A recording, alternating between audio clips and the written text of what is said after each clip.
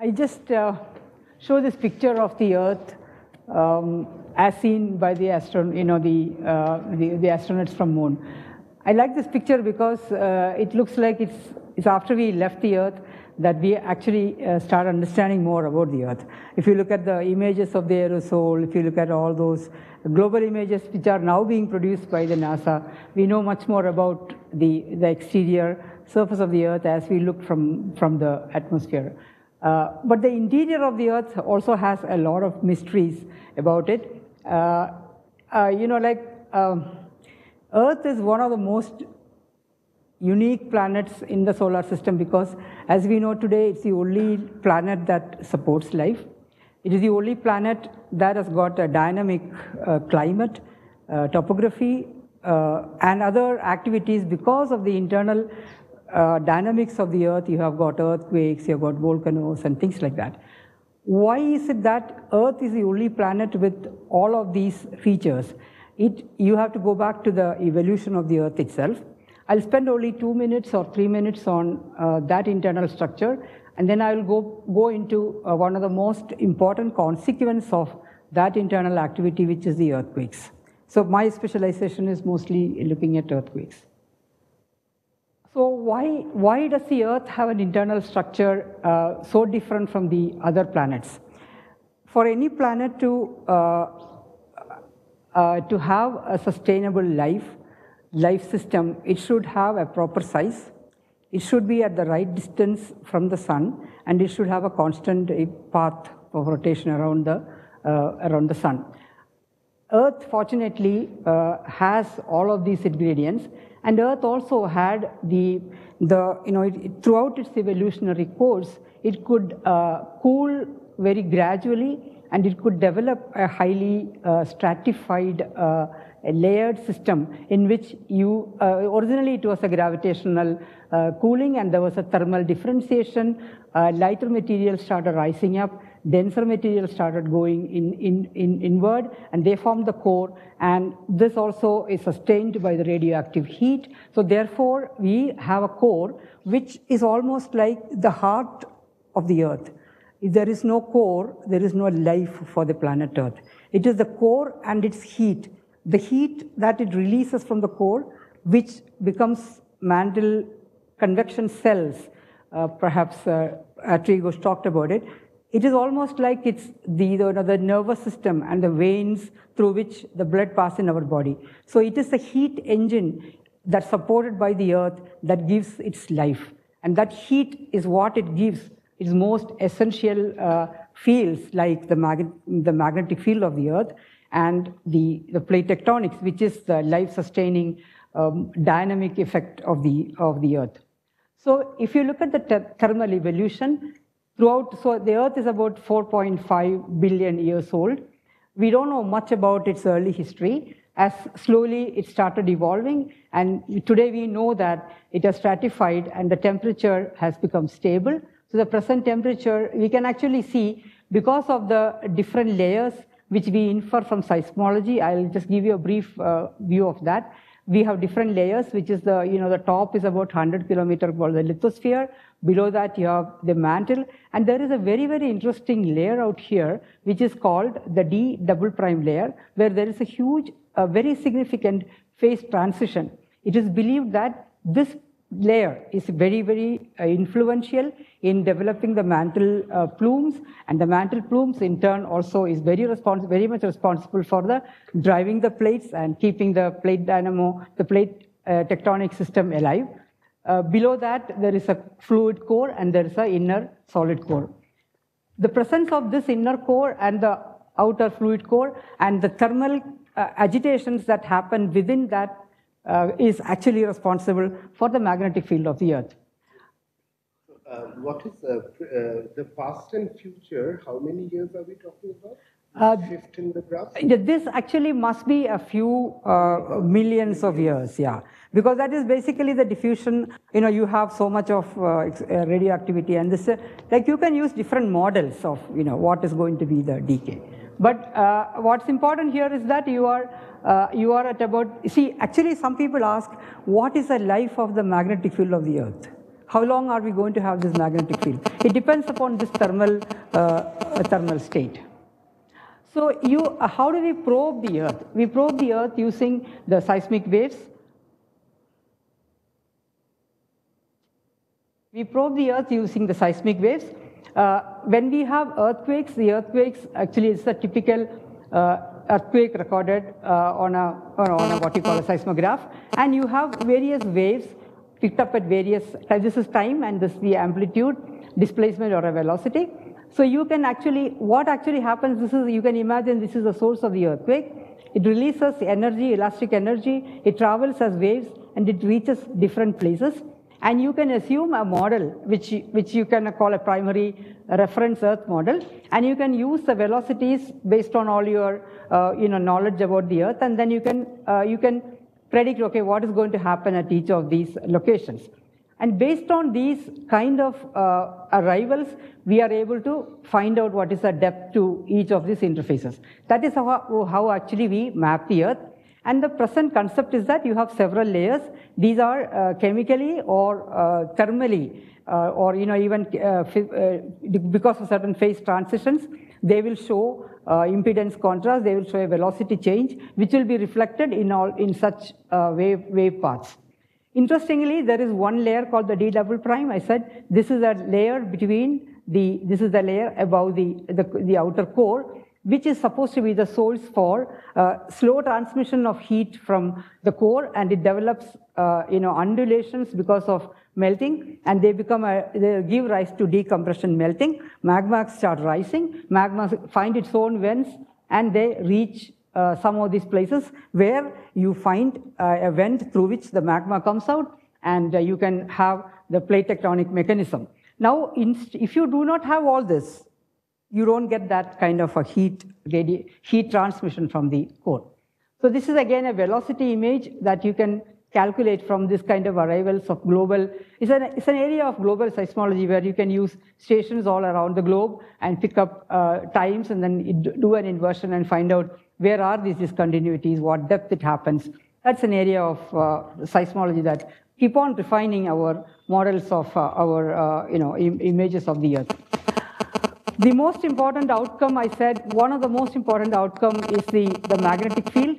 Because you have this thermal, uh, thermal uh, layers, you have all these uh, currents which are going from here, the, and due to the rotation, it almost picks, it, it becomes like a dynamo. It generates its own magnetic field and uh, you sustain the magnetic field. We won't talk about that. We will concentrate more on the other outcome. That is, I said, we have uh, material that is coming up through the, wherever there are weak zones, uh, it will come out and it will open up oceans. It will uh, create what you call mid-oceanic ridge systems. So here is, these are all your plate boundaries defined by the two different plates. It could be a place where the plates are diverging because materials are coming, or it could be a place where the plates are converging, like you have the Indian plate. Decide, so I'll, we'll come to that. So here you have uh, several plate boundaries. So in, uh, in summary, we have the top 100 kilometers of the Earth, it's called the lithosphere, is divided into various plates, and they move. They, they, they move in specific speeds, and because of that, they eventually, the, you don't have any loss or gain of matter. They will get circulated. They will get subducted wherever they cannot find a pathway. They get subducted and they come back again. So it gets recycled. So you keep on, the essentially the size of the earth is uh, the same. And you know this keeps happening. Every 200 million years, they say one cycle is completed and you keep uh, finding newer uh, geometries. Now, now with the GPS, we know very precisely how the plates are moving. So uh, this is a very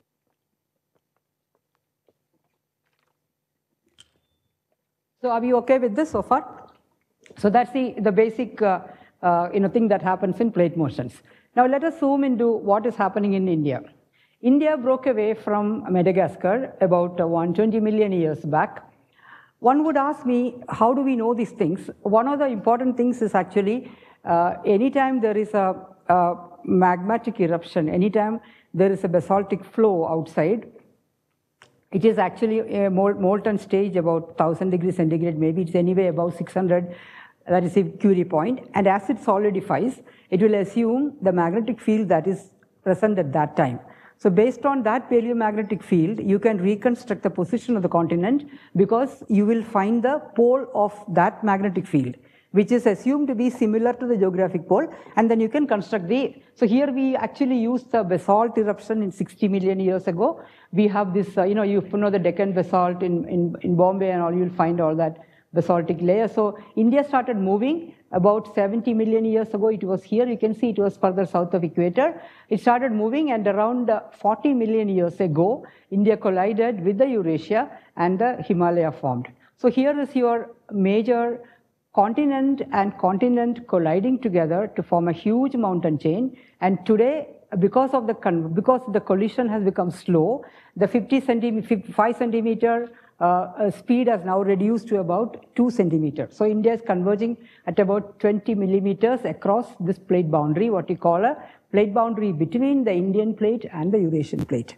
So this is a continent-continent convergence zone, which is seismically very productive because you have a lot of stresses accumulating along these plate boundaries and the push from this continental movement continues and as the, the stresses get accumulated, they get released in the form of great earthquakes. So you have uh, several great earthquakes along the, large earthquakes along the plate boundary, large meaning magnitude more than seven. You also have uh, more than eight, four, eight earthquakes have occurred here, four earthquakes of magnitude eight have occurred here, Recently, there has been uh, a big news that a great earthquake is shaping up somewhere here. I'll come to that. Uh, so, uh, so that this is a plate boundary where a lot of things happen, and we'll also talk about what happened in 2004 in the Andaman Sumatra subduction zone. Unlike the continent, here is an oceanic subduction. An ocean plate is subducting beneath a continental plate. Here, you will also earthquakes will also generate great tsunamis. So this is the, the tectonic setting in which earthquakes happen. So you can use, now you can use uh, GPS-based vectors to calculate the convergence. So like you have a GPS station in IISc, so that is supposed to be like, you know, you just know, it's away from all the action. You can use that one GPS station with another GPS station, say in say Tibet, and see what is a, a, change in the position with one year. So in one year, if you keep repeat measurements, you will see that the distance between these stations have reduced by 2 centimeters. So that is what the convergence rate. So, uh, so this is the, uh, the way the plates are moving. And because of that, globally, you will find uh, earthquakes are now almost coincident with the plate boundaries. These are the divergent boundaries where, you know, I said the magma comes out. They are very, very narrow. And whereas the, these are the convergent boundaries where you will find highly diffused zones of activity. It's almost like uh, uh, you know, like you have a night light, but this is a very, very um, te technologically advanced uh, production by the National Geophysical Data Center. We, they have actually used the scaling of the energy released by great earthquakes to size up the density of these, uh, intensity of these, uh, these uh, spots. So this is the image of the, the Earth and an undesirable consequence of plate motion if there were no plate motion, we will not have mountains, we will not have the topography, we will not have the climatic stability, we will not have the rich soils to cultivate. Without plate tectonics, you cannot live here. But we also have to live with the undesirable consequences such as the volcanoes and, uh, and the earthquakes, which has been shaping the earth, so we can't complain about them. Uh, so this is the picture as you see today the, the, the seismicity, and I'm going to take you to uh, some specific earthquakes here, and I'm going to just uh, talk to you more about what are the problems and challenges that we, we encounter as we try to understand uh, you know, the, everybody knows you cannot predict earthquakes. So the effect is, the, the effort today is, what is the earthquake going to do to you? The earthquake is going to happen someday, we know that. But what is the effect of that earthquake? That's all we can pretty much at least try and predict. So that's, that's what I'll just uh, uh, you know, talk about. So we look at it, uh, we look at some specific examples of earthquakes, which is, you know, we see what we do, we, we have these earthquakes and we have these records. We have to use our knowledge of the material properties, we have to use our tools in mathematics and physics to understand what happened at the source. The source may be 5 kilometers, it could be 50 kilometers, it could be 200 kilometers, or even 600 kilometers. So we have to, we, all we have is the records made by the seismic stations all around the globe, which is going to uh, measure the displacement of the, you know, the particle at that particular station, as the way it has happened at the source. So we will, you, we all we have is to play around with these records and try to understand what happened at the source. So we will use some examples of recent earthquakes, which will tell us more about the mechanisms of the earthquakes and the source processes and how they generate the tsunami. We'll also talk a little bit about, uh, you know, how these are actually, uh, you know, used, how are they, how they, how we use the displacement records to assume the source, and we'll just talk about how the outcome of the source models will tell us about the magnitude, depth, and the rupture. See, an earthquake can originate here, it can go that side, it can go this side. It can also go both ways. So it can be a unilateral rupture, it can be a bilateral rupture. It can also stop at some place, it can again pick up. What controls this? One has to imagine that all this is happening on about 20 kilometer slab, and you're talking about a three-dimensional rupture. And the properties, we are not aware of the properties. We have no idea what is below. So we will, uh, and also, uh, we will also talk a little bit about the tsunami modeling and, you know, how do we actually, uh, re, how do we understand this uh, tsunami uh, process?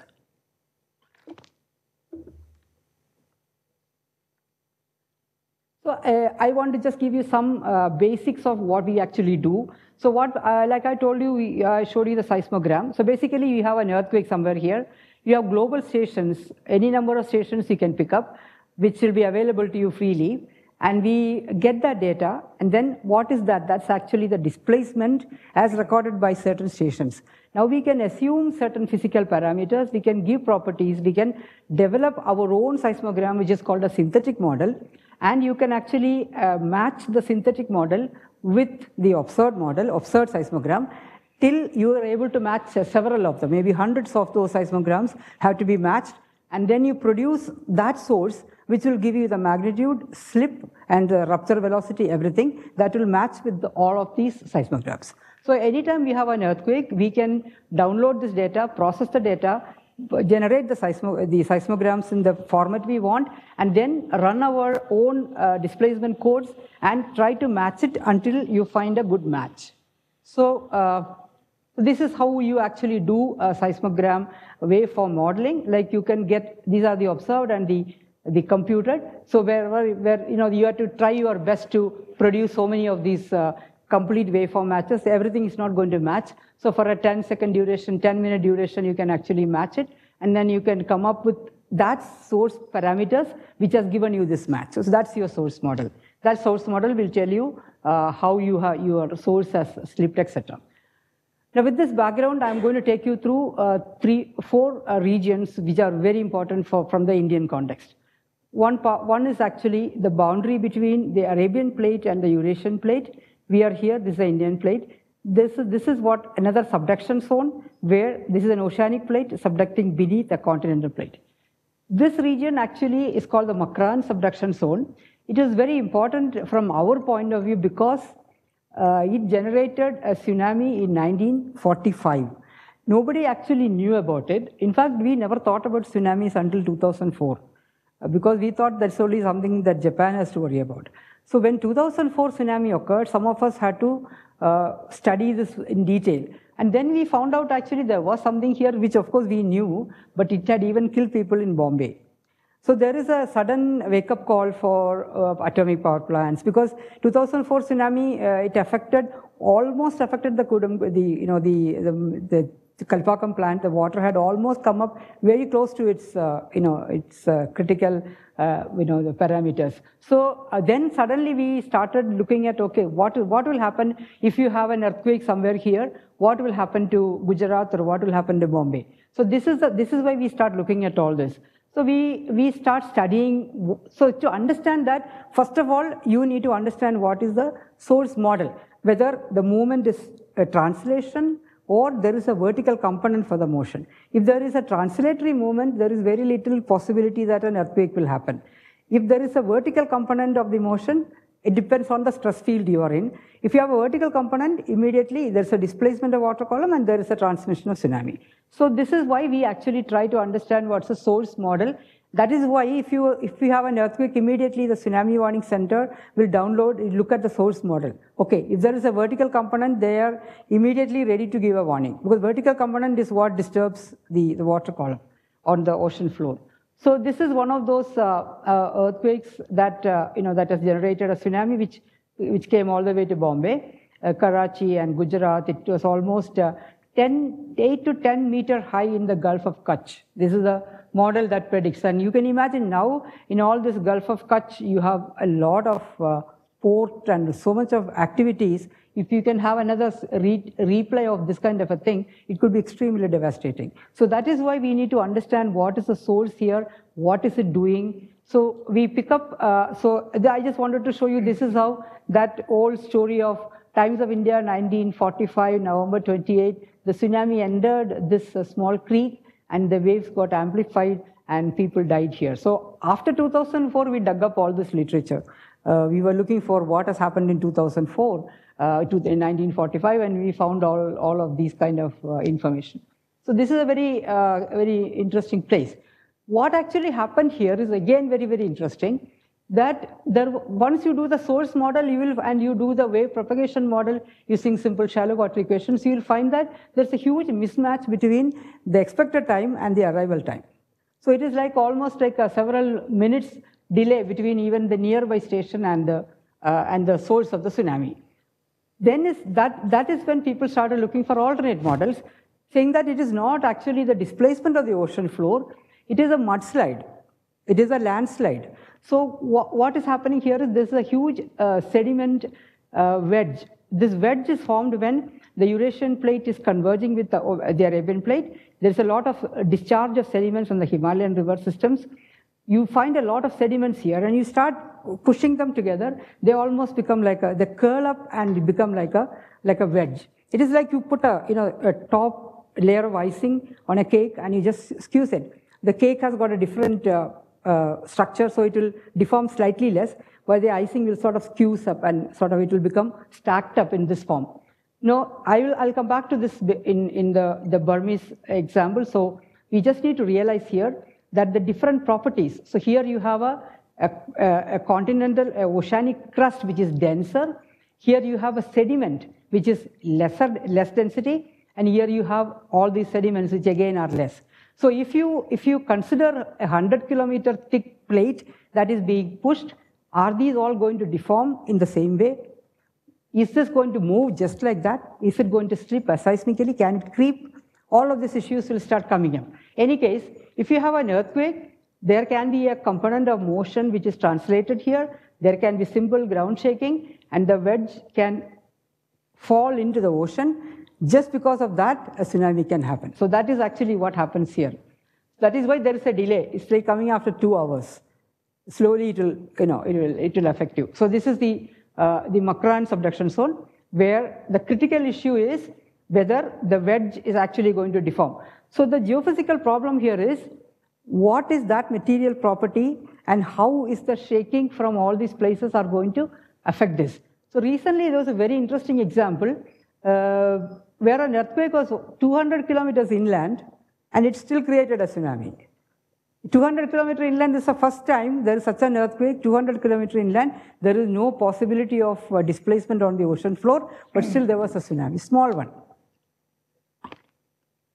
What actually it does is, it has gone and uh, pushed this wedge, possibly, and then it, it has got a small, it has also small component, a vertical component that pushes this, and that probably creates a tsunami.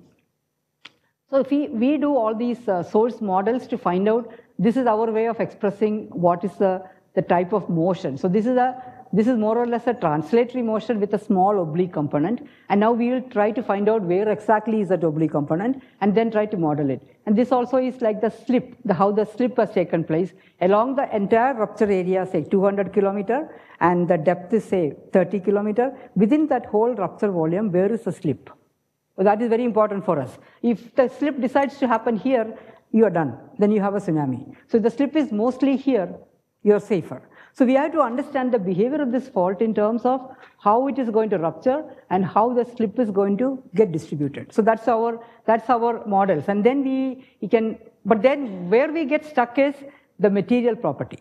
How do we, how do we actually model the transfer of slip from one material to the other? Is it, can you treat it as a continuum? Can you divide them into discrete levels and then how do you transfer the stress? That becomes a challenge for us. Uh, now we move into the Himalaya. Himalaya, I told you, this is the plate boundary, the Himalayan plate boundary, which is the boundary between the Indian and the Eurasian plates.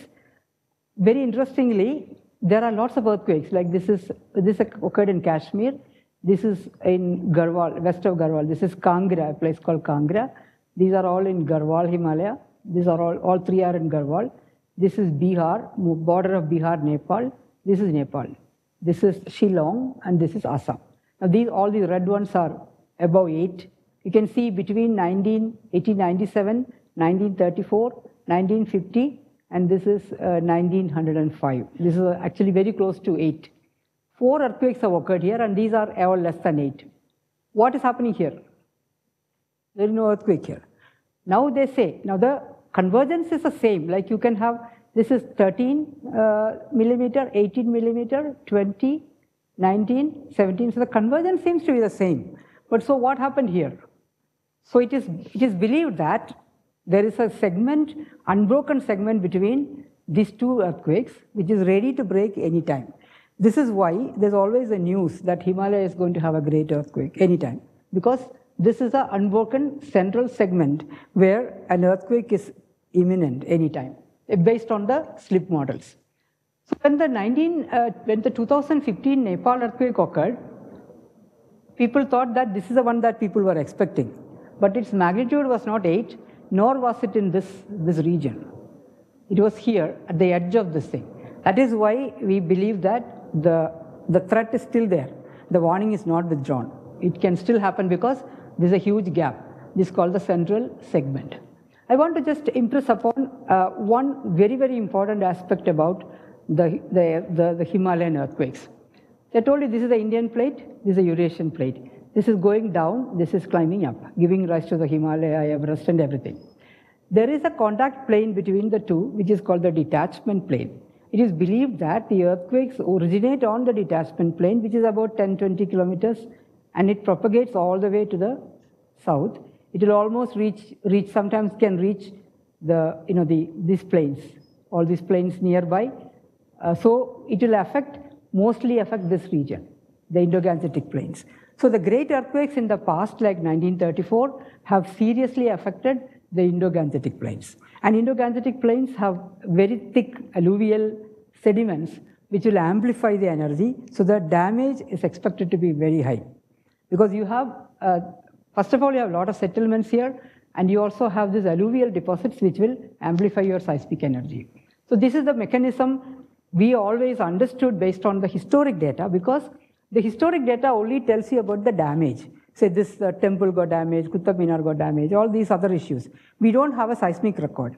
The only time we had a seismic record of a good earthquake, uh, of a large earthquake is 2015.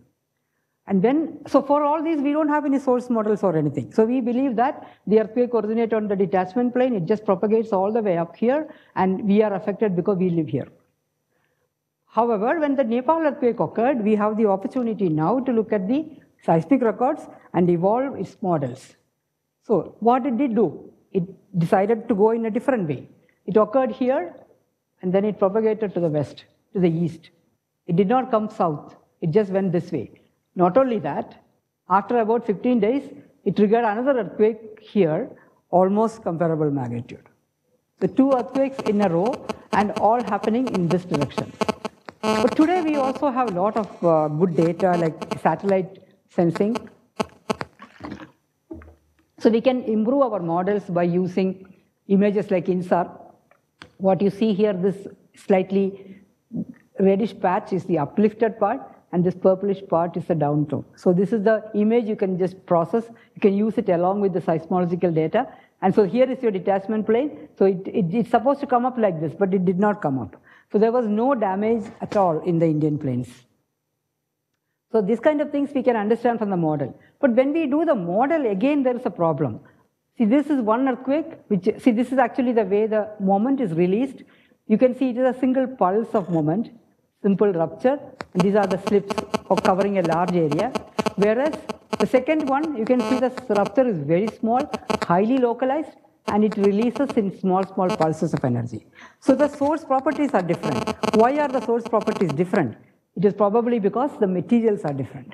There are material heterogeneities, the way the stresses are transferred. It also tells us that based on the nature of this asperity, based on the material here, you can also have a larger earthquake. Who says that it should be only 7.3, it can be 8. So the lessons we learn from here, we always thought, okay, an earthquake occurs, aftershocks are just going to follow, they're going to be smaller, and you can go home. You can just do your studies and you know do aftershock survey, your relief, and you're done. No, it can again trigger another earthquake because we know so little about these sources. So the source models tell us a lot more about what happens and how we need to understand them in greater detail and how our inferences just based on the surface observations can be very, very uh, insufficient to suggest what could happen.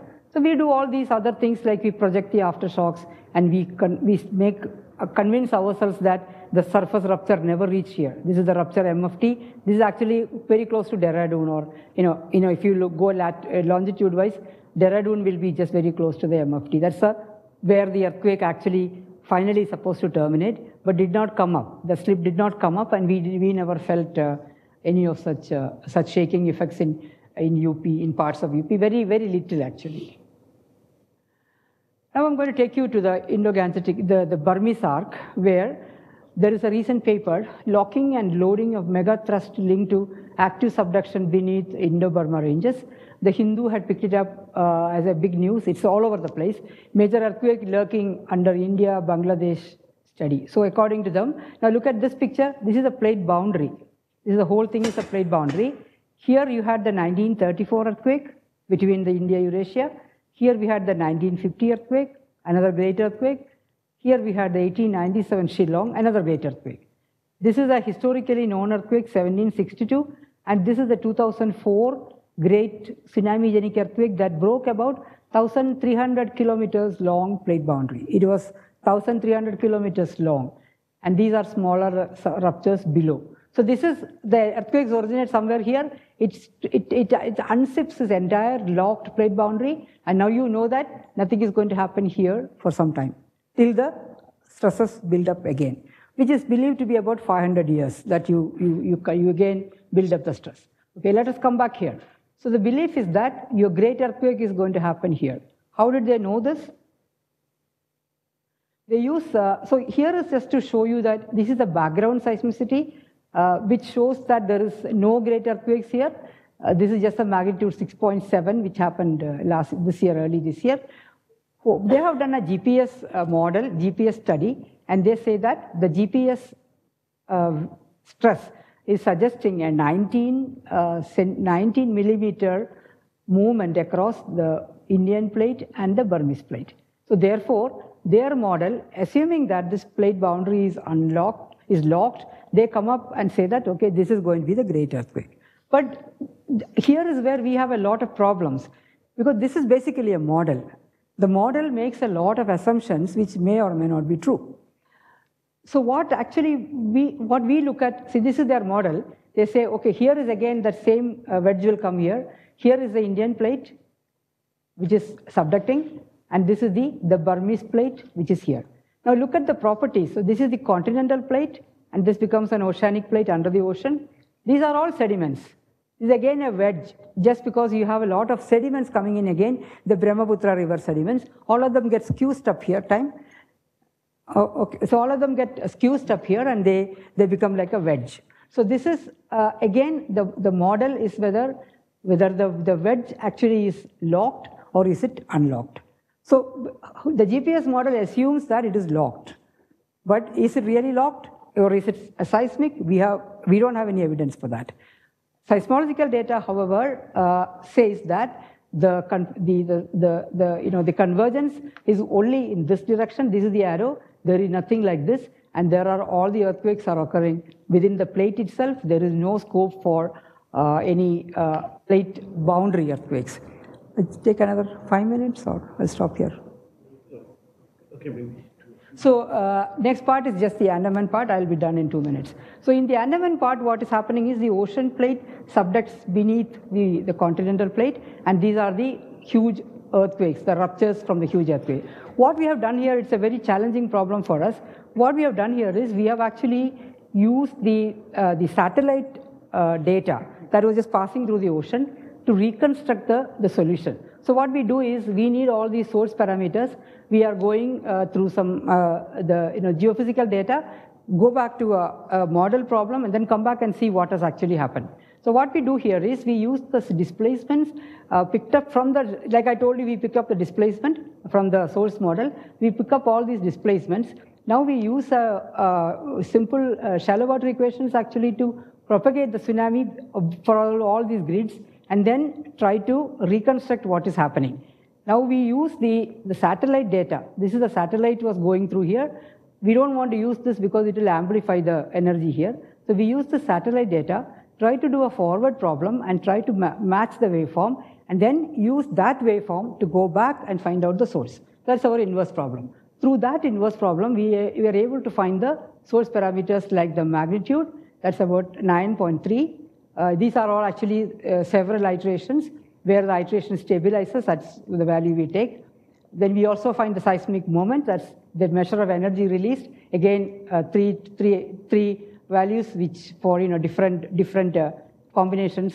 Then we also find the slip with all its errors. The importance of this problem is basically, and also the velocity with which the rupture occurred. The importance of this problem is, uh, in, you know, this kind of large optimization problems where you use a large data points and use these uh, uh, codes, we also learn how to propagate the errors. What is the error doing here? When do you stabilize it? This is actually not, uh, I do this in collaboration with Professor Debashis Roy in civil engineering. So I just want to summarize that the geophysical environment is, uh, you know, poses several modeling challenges which requires knowledge of the region. Uh, you also need, uh, we need to explain whether the geodetic models can actually explain locked and unlocked uh, sections. And the tsunami model, again, it's a very, just a new work that we are doing. It can actually help generate the inversion codes for tsunami warning systems, etc. But this is again a you know, very intense model problems which mostly mathematicians can actually tackle. So I want to thank uh, my PhD student who is working mostly on the source models and Devaraj, who is working on the, the tsunami propagation models, is a work with Professor Debashis Roy in, in civil engineering. Thank you so much. Quick question. Sanjay, you don't need them. yeah. I mean, one reads often about these precursors to earthquakes.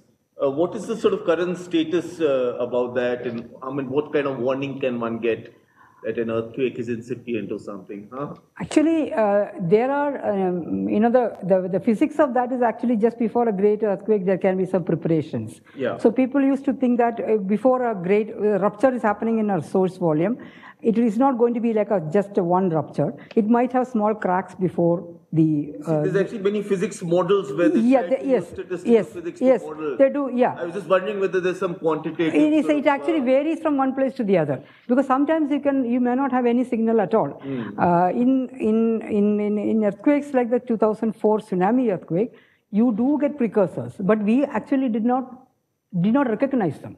In fact, there is a compression going on before the earthquake, and it was going on for almost one or two years. Mm. So we were actually walking through this Port Blair trying to do some GPS work. We saw these corals uplifted almost 10 centimeters above the surface. Uh.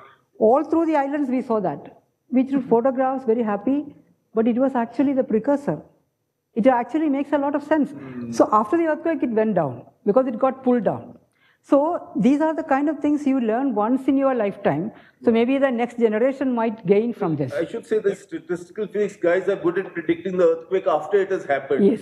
And also the stock market crash yes, after yes, this yeah. happened. I mean, so this is, uh, but you know, I think, uh, you know, all over the world, people have actually given up predicting the earthquake. They are only trying to predict the effect. And here issue a warning, like use the uh, transmission time of uh, S wave, delay of surface waves, and give an alert. Mm. Like a, you know, like alert to a automatic uh, train or something. They give an alert. Mm. In in the Mexican coast, they do this. So the earthquake occur in the sea, and it's 400 kilometers away. The effect is going to come to the land. So they can give a, a, you know, that the wave transmission speeds they can use and give an automatic alert. And this is connected to telephone systems and, you know, mobile phones and all that. So they get like a 30 seconds, 50 seconds warning, like that. That is all they can do. Any other questions? Amit is in office. Oh, I don't get last time. Let you ask. So, I mean, it's not possible to predict the earthquake like in the future and somebody can develop a You know, uh, this is so complicated. That's the whole problem. Every time you have an earthquake, they say this is a new new thing. We have never learned this before. So, uh, how do you predict it? When it is happening so deep below, it can be at any depth. It can be at 10 kilometer. It can be at 15 kilometer. It can go this way. There is a huge could vary material could vary, and the rupture. There was a you know there was an experiment done in Parkfield in 2000 in in 1990. Actually, it was in 1988 to 1993. Uh, that was a window they had given for the earthquake.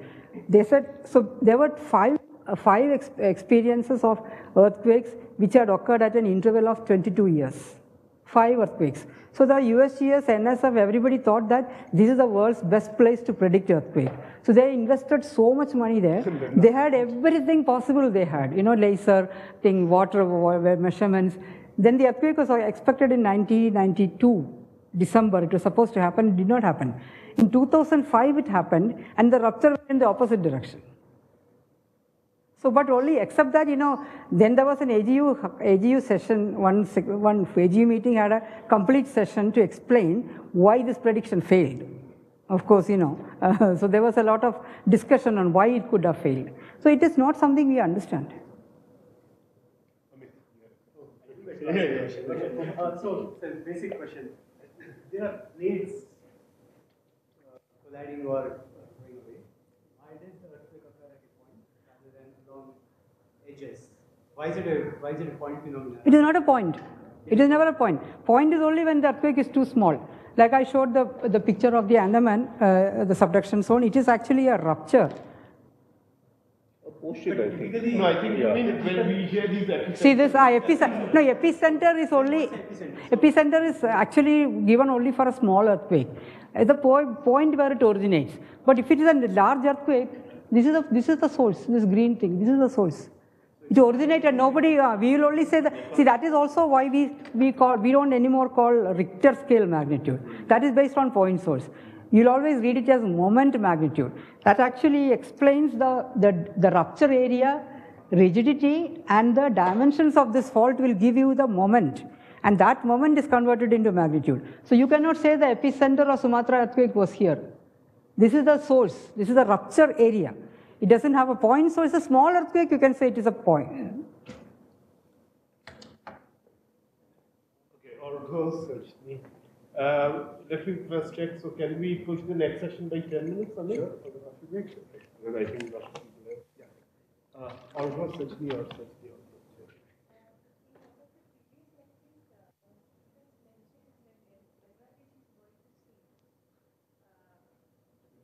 Bangladesh, not- was he talking about sediment load or? Is it related to this that is it going to be related to this uh, no, fi- first of all, uh, uh, first of all, what was that? Sea level rise. That is another another matter. That is another matter because if you have glacial melt, or I don't know what he was talking about. The earthquake thing is a you know totally different uh, thing, and I don't. I mean, I. Okay.